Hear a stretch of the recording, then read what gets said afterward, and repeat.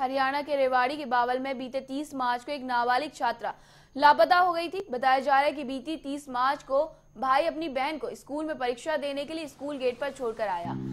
लेकिन लड़की शाम को वापस घर नहीं लौटी। वहीं पुलिस ने अपहरण का मुकदमा दर्ज तो कर लिया, लेकिन मामला दर्ज कर शायद पुलिस इस केस को भूल ही गई है। वहीं लापता बेटी की बरामदगी को लेकर उसके पिता एक अधिकारी से लेकर दूसरे अधिकारी तक चक्कर काटते रहे।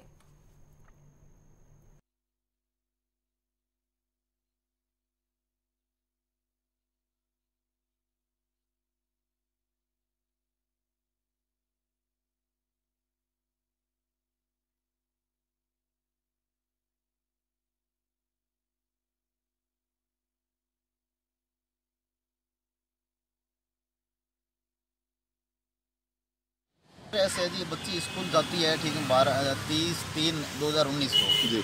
और बच्ची का छोटा भाई उसको स्कूल के गेट पे छोड़ने जाता है। धारा एक सौ चौवालीस लगती है उस मतलब सेंट्रल स्कूल है सेंट्रल पब्लिक स्कूल सबसे हैरत अंगेज बात तो ये है इकतीस तारीख का मैटर है। जैसे ही मेरे को इन्फॉर्मेशन मिली मैं जोधपुर से इकतीस तारीख को आ गया।